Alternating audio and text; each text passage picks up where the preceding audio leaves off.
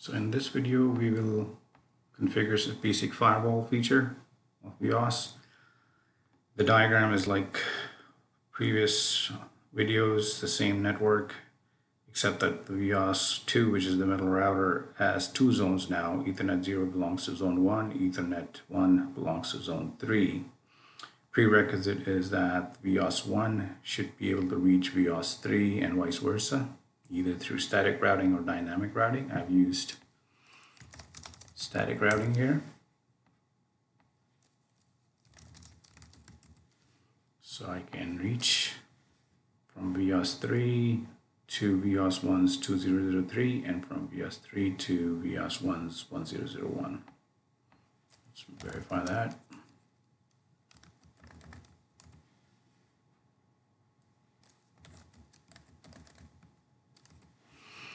So they can reach each other. And as soon as we configure the firewall the, uh, the reachability will stop. Let's do that. Set. Let's do the first step which is configure the zones and assign it to the interface. Set. Zone policy zone. Call it zone 1 as in the diagram. And the interface is going to be ethernet 0 do the same for zone 3. And that's your zone. Now, as soon as I commit, the communication between VyOS 1 and 3 will stop.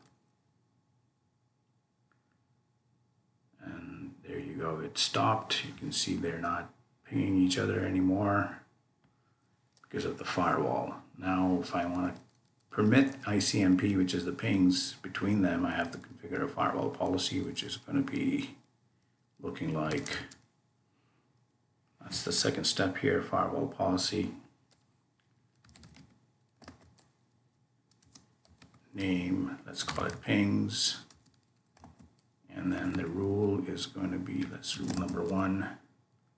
And the action, which is the first one, what do you want to do with it? It's a required parameter, you say I want to accept this for right now.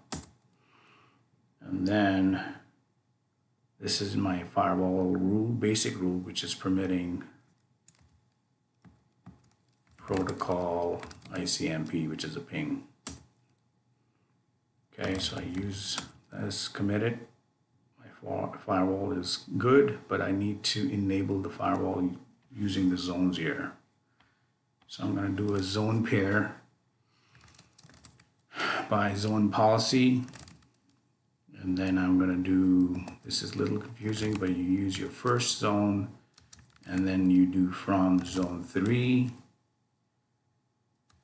and the firewall that you want to use, the firewall policy is for us, it's pings. Do the same for return traffic you just swap the number now, or zones. And then you can commit and you'll see that the pings are back to normal. That's your basic firewall. You can see show firewall summary, show firewall statistics, and you can also do zone policy, zone one. That doesn't give you much info here, but the firewall one is better. It gives you the number of packets, bytes, accept, drop, and what have you. That's our basic straightforward firewall.